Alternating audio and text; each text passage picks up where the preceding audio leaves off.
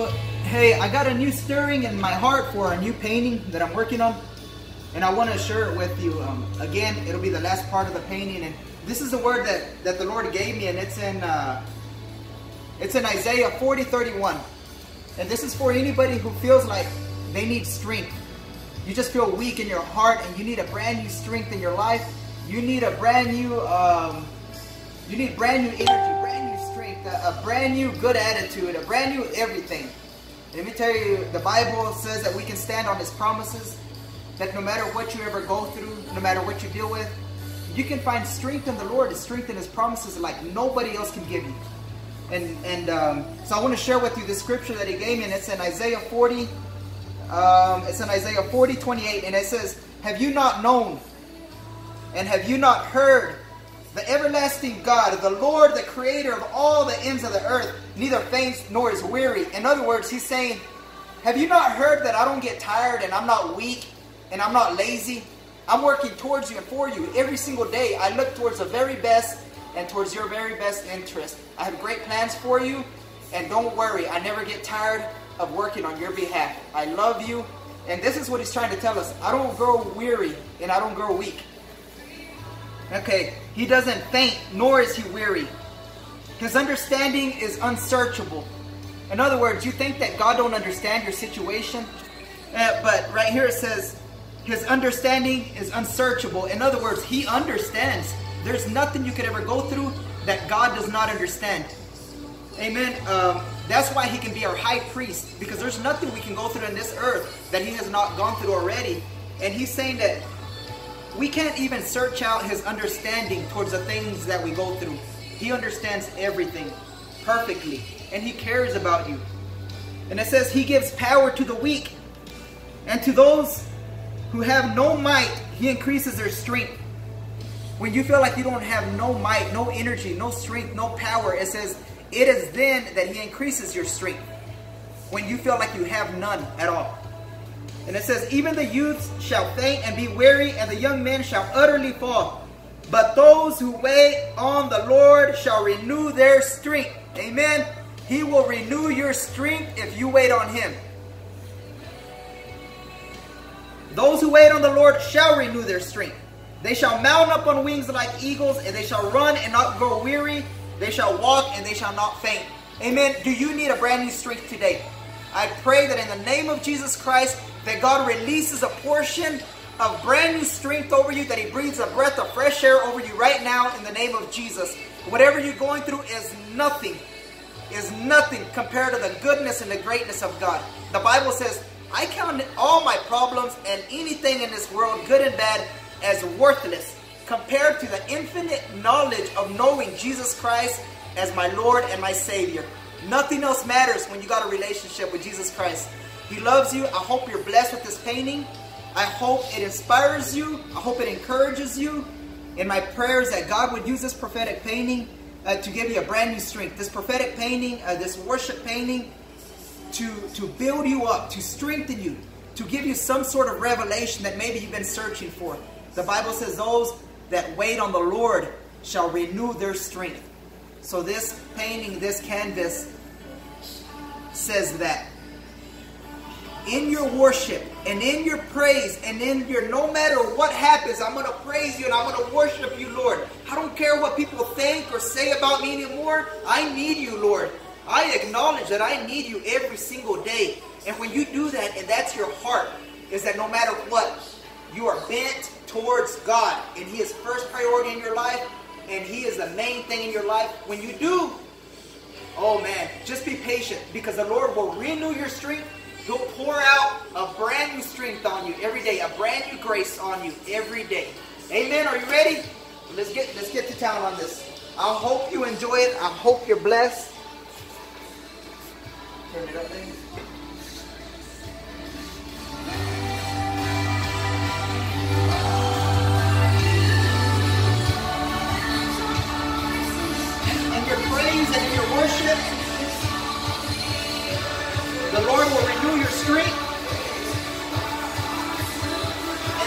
Nothing that you can't get through without the Lord. He'll be your strength the whole way through.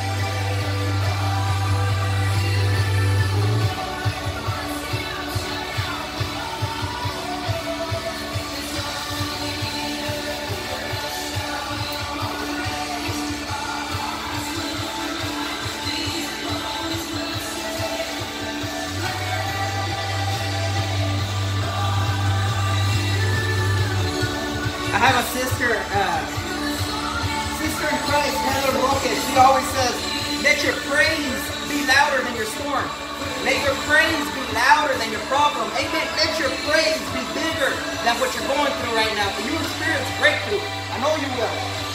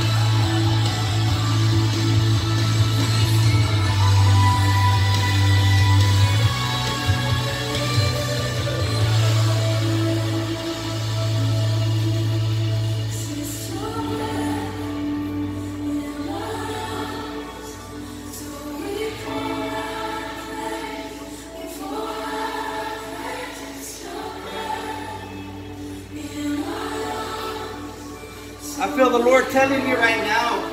I feel Him speaking to my heart. I feel Him telling somebody right now that problem that you're going through, that stump that's in the middle of the road, whatever it is, I feel Him saying, That's not yours, that's mine. I want to take it off your back. I want to carry it for you, but you don't let me.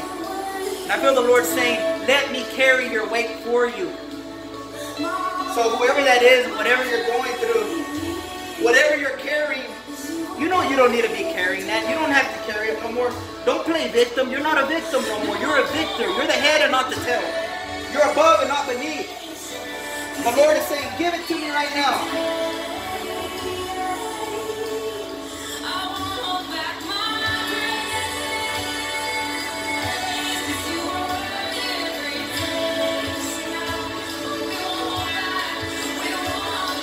When you try to take care of a situation by yourself, what ends up happening is you make a bigger mess out of it. Amen. Me and you are good at making a mess out of problems. Give it to God. Give it to God today. No matter what it is, give it to God. You say, let me pour, let me pour a brand new strength over you. Let me pour a brand new grace over you. Let me pour a brand new anointing over you, woman of God, man of God. Say, give it to me, give it to me, give it to me. When it pours out a brand new strength on you, it'll pour onto everyone around you.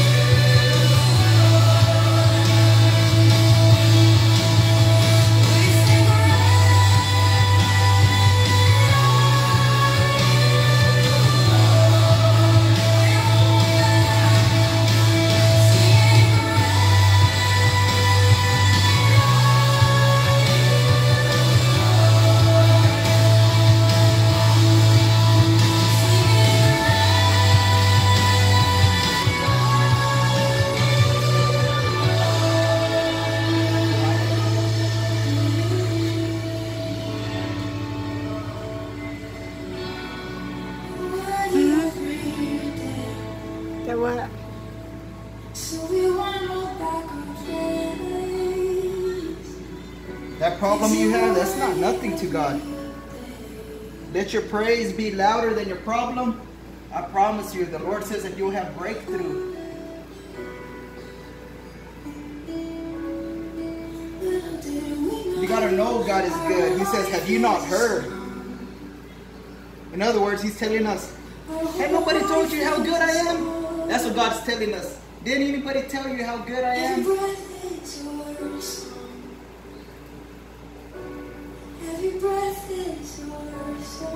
God is good.